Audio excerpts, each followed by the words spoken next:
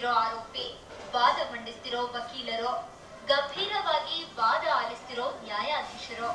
ಇದ್ಯಾವ್ದಪ್ಪ court ಅನ್ಕೊಂಡ್ರ? ಇದು court ತರಾನೆ? ಆದ್ರೆ ಕೋರ್ಟ್ ಅಲ್ಲ.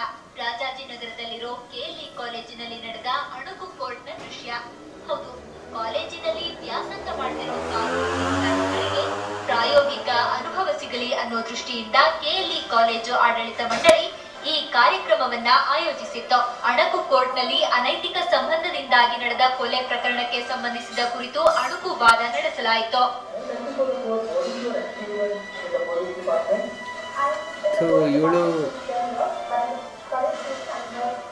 ಕೋರ್ಟಲ್ಲಿ ನಮಗೆ ಏನಾಗತ್ತೆ ಹೆಂಗ್ ನಡೆಯುತ್ತೆ ಏನು ಅಷ್ಟು ಸರಿ ಗೊತ್ತಿರೋದಿಲ್ಲ. ಇಲ್ಲಿ ಮು- ಇಲ್ಲಿ ಈ ಕಾರ್ಯಕ್ರಮದಿಂದ ನಮಗೆ ಹೆಂಗೆ ಪ್ರೊಸೀಜರ್ ನಡೆಯುತ್ತೆ ಯಾವ ರೀತಿ ಹೋಗ್ಬೇಕು ಅದರಿಂದ ತುಂಬಾ ಅರಿವು ಸಿಗ್ತಾ ಇದೆ. ಯಾವ ತರ ಮುಖದಮ್ಮೆ ನಡೆಯುತ್ತೆ ಅದು ತುಂಬಾ ಚೆನ್ನಾಗಿ ಗೊತ್ತಾಗತ್ತೆ.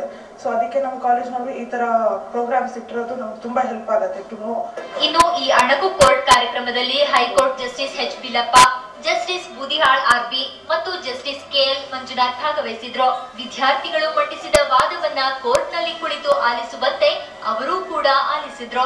ವಿದ್ಯಾರ್ಥಿಗಳು ಮಾಡ್ತಾ ಇದ್ದ ತಪ್ಪುಗಳನ್ನ ತಿಳಿ ಹೇಳ್ತಾ ಅರಿವು ಮೂಡಿಸಿದ್ರು. ವಿದ್ಯಾರ್ಥಿಗಳಿಗೆ ಕೊಟ್ಟಿದ್ದ ಪ್ರಕರಣ ಕೊಲೆ ಪ್ರಕರಣವಾಗಿದ್ದರಿಂದ ಎಲ್ಲರೂ ಕೂಡ ತಮ್ಮದೇ ಶೈಲಿಯಲ್ಲಿ ವಾದ ಮಂಡಿಸಿದ್ರು.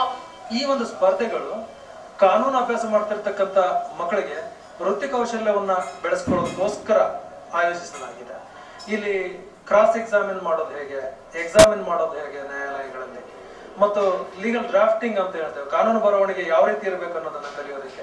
ಒಟ್ನಲ್ಲಿ ಕೆಎಲ್ಇ ಕಾಲೇಜಿನಲ್ಲಿ ನಡೆದ ಅಣಕು ಕೋರ್ಟ್ ಕಾರ್ಯಕ್ರಮ ವಿದ್ಯಾರ್ಥಿಗಳಿಗೆ ಹೊಸ ಅನುಭವ ನೀಡಿತು.